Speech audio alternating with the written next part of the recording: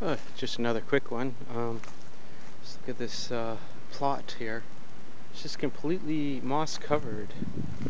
A real bed of soft moss, the whole the whole area. Kind of neat. That would be kind of cool to have as your uh, your plot, right? It's it's very soft. You could sleep on this or sleep under it. There you go.